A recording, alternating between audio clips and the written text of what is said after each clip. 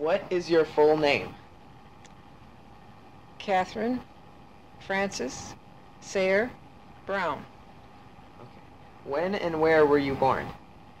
I was born uh, February 5th, 1915, in Detroit, Michigan. Okay, um, where have you lived? I've lived in Detroit, Grosse Pointe, uh, well, I've traveled all over the world and lived in different places. Short That's times. that's a question. That's another question coming up. So Oh, don't go that far ahead. Um, Around the world three times. yeah. do you have brothers and sisters? Yes, I have two brothers, one older and one younger. When and where were they born? They were born, the oldest one was born in Detroit on uh, May, I've forgotten his birthday, in May of 1916, 15, 14, 13. Easy for you to say. He's, he's 13, and I'm 15, and my other brother is 1916. so what was the oldest one's name? His name was George, And and my younger brother's name was Robert. um, George became a doctor. Yeah. George became a doctor. Where do they live now? Well, George has passed away, and Robert lives in Northern California. Okay. Um, do you have any special recollections of your grandparents? Oh, yes. Uh, my mother's parents were very uh, close to our family, and we used to spend summers with them, we used to visit them very, very often. Where? Well, they moved, they were in a little town in southwestern Michigan, in Monroe County, and then they moved to a larger town in Michigan called Ypsilanti. What was the smaller town? It was a little t- sort of a township called Petersburg. Oh? Still there. Still Yeah. there, yes, and it was on the River Raisin. And we used to go and spend, uh, oh, a month or so in the summertime. And it How was, wonderful. it was really wonderful, yeah. Wonderful time. Are there any family traditions? Or, and also, do you have any family keepsakes? Oh, yes, I have a lot of family keepsakes. I don't think we had any particular family traditions. We just, well, Like, what are some of the keepsakes you have?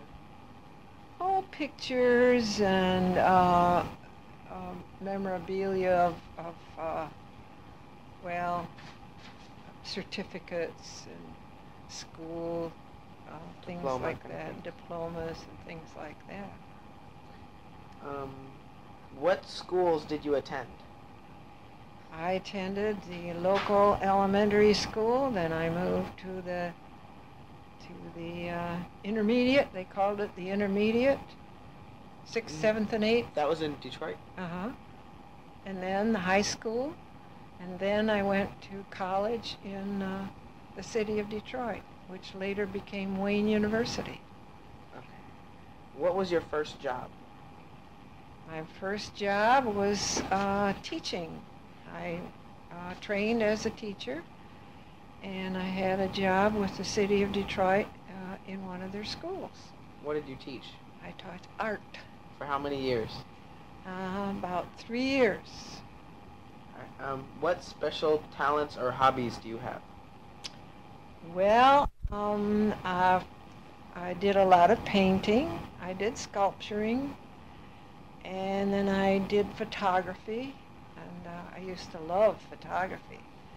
Carried a camera all over the world, take pictures wherever I went.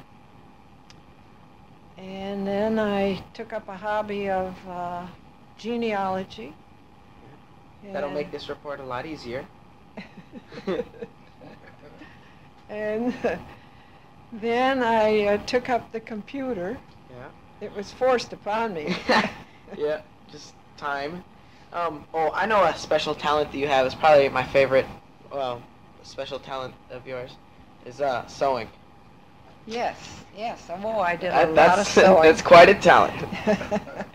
Weren't you going to be a dress designer at one time? Well, I thought something of it when I was in college, but I went into it and researched it and realized that it meant moving to New York and scrambling around in that big city, and I just felt as though I just couldn't hack that.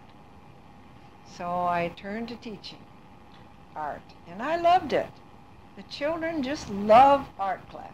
I know. I love art class. Yes, and they Well- behave themselves. Second only to English class. What? Are you saying yeah? Yeah, art class is tight. You like But it? yeah, I like it, but not as much as I like English class. Why do you like English class? Shh. okay, you understand why now. Um, what are the names of your parents? My mother's name was Ida May Stone Sayre. And my father's name was Frank Valentine Sayre because he was born on Valentine's Day. Oh. When and where were they born? They were born in Michigan. Uh, Petersburg? Does it say on there? hmm? Does it say on the pedigree chart? It does on the pedigree chart, yes. Okay. does. Um, You can look in the pedigree chart and you will find the exact dates. do you know who in your family first immigrated to the United States? Well, on my father's side, it was in the 1600s. Wow. And they came over and they settled on Long Island in New York. It's not Long Island, it's Long Island. Long Island. Long Island. And on my mother's side, the Kedseys came from Scotland in, um, what was it, 1790. And they settled, where did the Kedseys settle? They also landed in New York, but and lived one s- Yeah, winter, they- and then they settled in. Yeah, they they settled in New York State, and then one of the one of the sons, my ancestor, took his family and sailed down the newly opened Erie Canal Huh.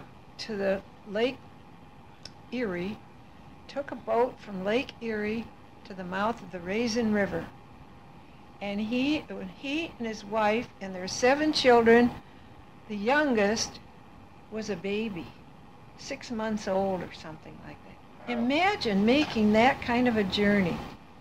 What With would a you crying, whining baby. do? Yeah. I would have thrown it in the river. what would you do That's what about? You- What would you do about the dirty diapers? Ooh, I'd have thrown them in the river. Canal. I'd have thrown them in the river along with the baby. And then they settled there i- at the, in Monroe, in Monroe, Michigan, in Petersburg? Right. Right around there. Right. Uh huh. Okay, um, did any family member serve in the military? Um. George. Grandpa, we got his story. Yeah. Um. How about George Stone, Oh. the cavalry? My brother was Yeah, in, was in World War II. He he he was forced to join the Navy, and he went to the South Pacific Yeah. for months at a time. And the Navy lost his records and didn't know he was there. Is that right? They forgot about him. they forgot about him so he must have stayed out there for a good while. for a good while. And finally, another guy showed up and said, Hey, I'm supposed to take your place. You may leave. Oh, And he said, Thank you Thank very God." much. Well, how about the other George Stone who was in the cavalry and, and was, Oh, yeah, was that was General my Custer. grandfather, yes. And he joined the Army. He served with, uh, Custer? yeah. Not Custer, no. He served with Crooks. Oh, right, Crook, George Crooks. And he, uh, They fought at that. Battle of, the Battle of the Ro- Rosebud he fought at. And then he learned that Custer had been massacred and the army marched out and his troop was one of the ones that cleaned up the camp and, you know, ma- buried this rotting bodies Wow. on, on the hillside. It's a dirty job. A dirty job. Um, uh, uh, uh, okay. Last question. How has your life changed over the years? Years. My life has changed for the better. Every change I make is better than the one before. You sure dodged that one. okay, that'll do.